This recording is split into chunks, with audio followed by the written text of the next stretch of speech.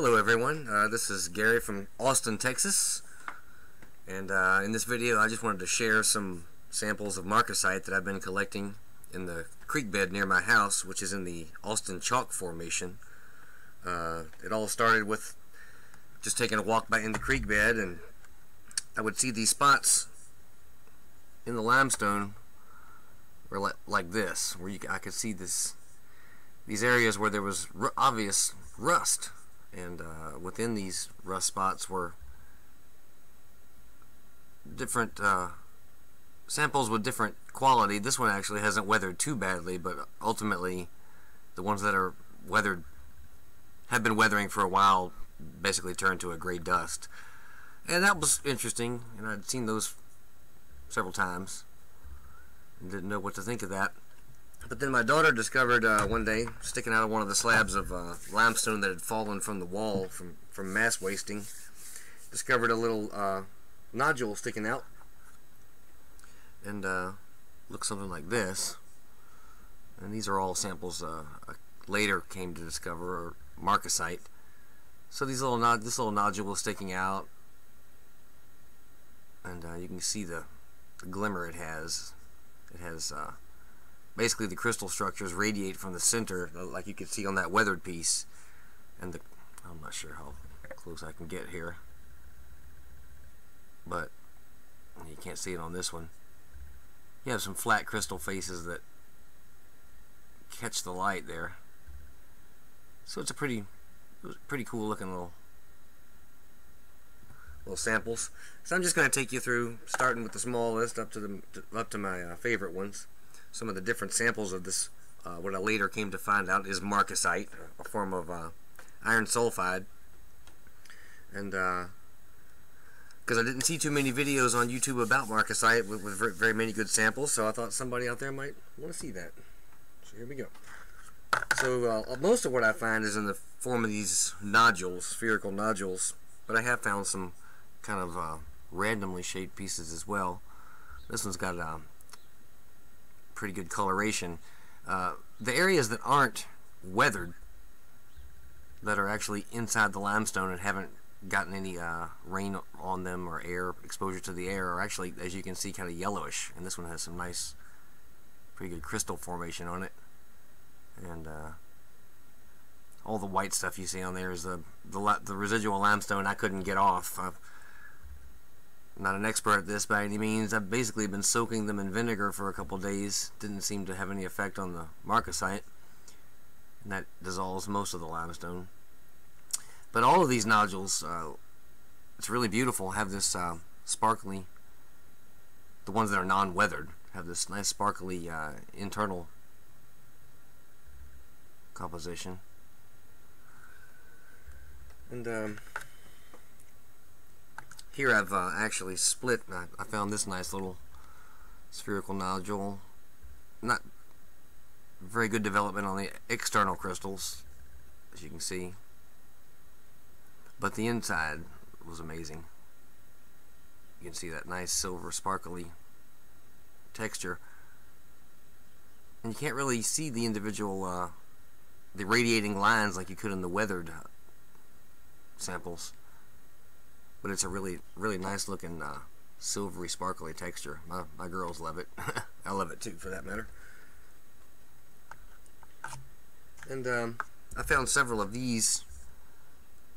They're basically clumps of individual nodules. You can see they're fused together forming from a central point. and they have a this one's got some nice goldish coloration on this side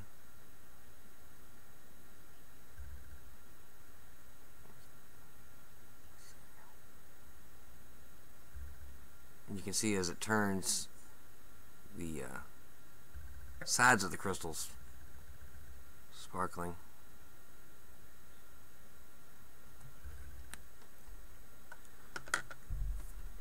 And here's a really nice one that actually broke off when I was removing it from the from the limestone but it's got a distinct coppery looking texture in the inside which is different than the rest.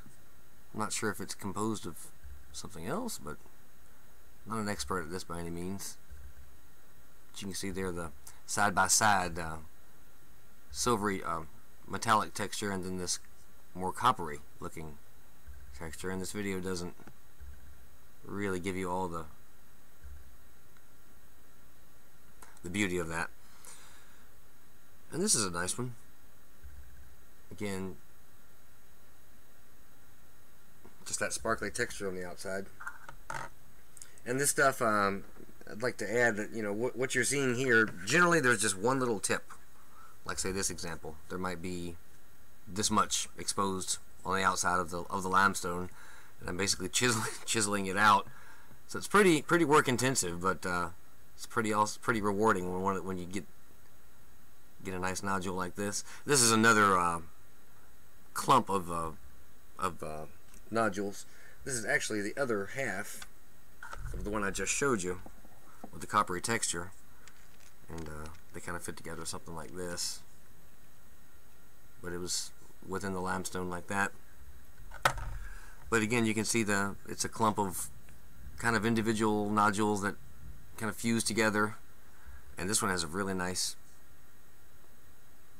sparkly appearance. And it's got some reddish this one in particular has more reddish brown reddish texture to it color to it. That's a nice one. And this is one of my favorites. Basically a perfect little ball little sphere. But you really get that shining effect as you as you rotate it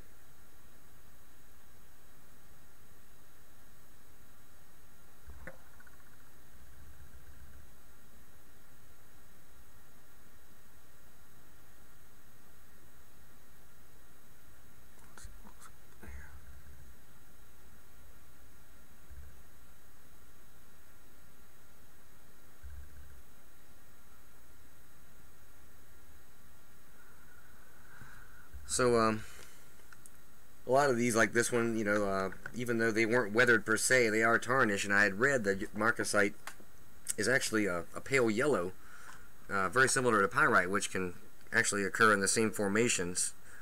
Um, and we'll see a little bit. I have a few samples that actually do have that pyrite look, but I believe they are marcasite, just the unweathered, completely unweathered ones. This is a nice nodule. Um, I guess it's about an inch and a half in diameter but it's got some really nice well developed external crystals there. I can pull it in focus.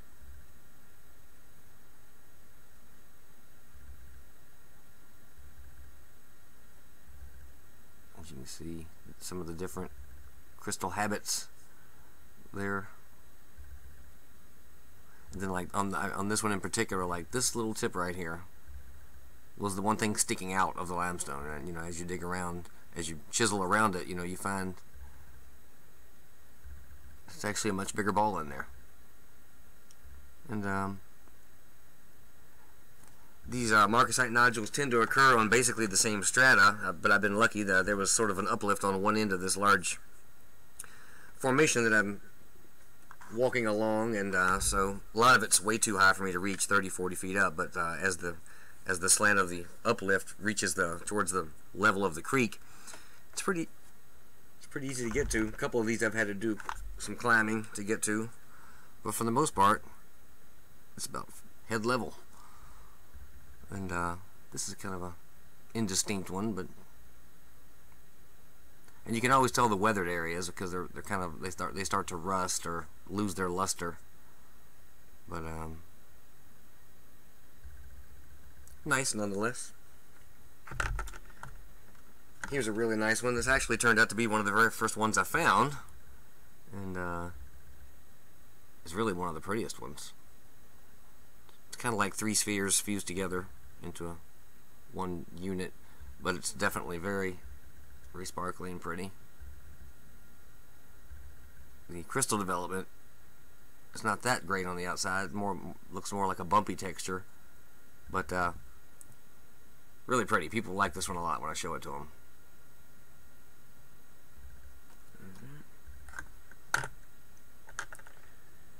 Now this one, this is one of the ones I had to climb to get, but it's, it's pretty nice. Two inch long, about an inch and a half in diameter. kind of a cylinder. Not much of the pale yellow crystals. This one was fairly well exposed, but I don't, I don't think it had been for long because it hasn't shown any oxidation, but just definitely the coloration is uh, dark. And uh, it broke off here from another smaller piece, but there wasn't enough worth tempting to get. But you can definitely see some nice, few nice crystals there on the outside, and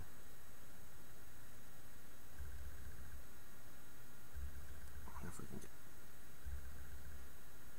as you can see.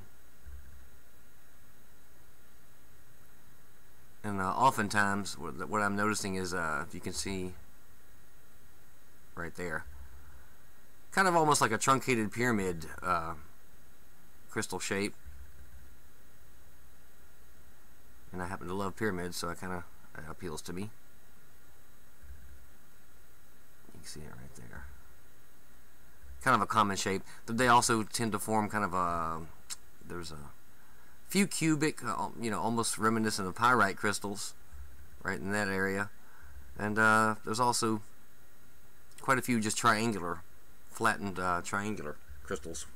So definitely a neat looking mineral. Let's see here.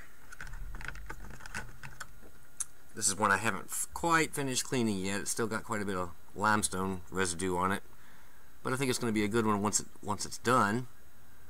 It's got some nice uh, crystal development there. You can see another one of the truncated pyramids right there. Some few of the triangular ones there in that area. It's gonna have some of the, it's got some of the nice uh, pale yellow crystals, but it still needs still got some work to do on that one.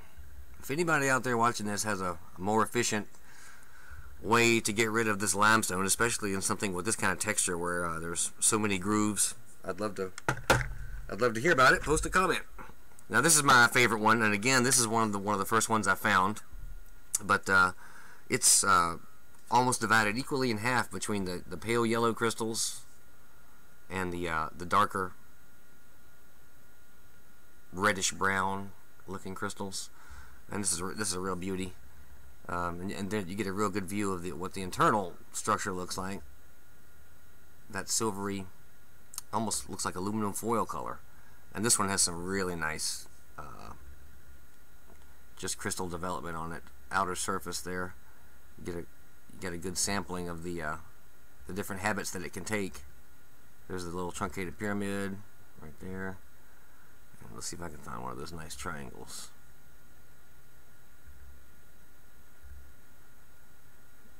And I apologize for the movement. This is my first video. I don't usually post videos like this, but there's a nice little truncated pyramid.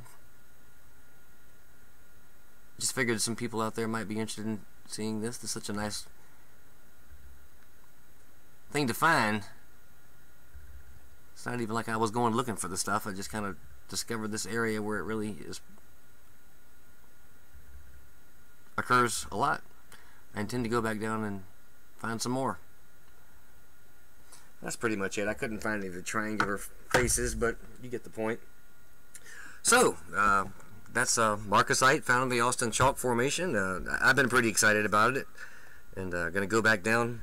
We've been getting a lot of rain, but I'm going to go back down and try to find some more soon. And if I do find some beauties, I'll post those too. So, if you have any comments or like it or don't like it, let me know. Thanks.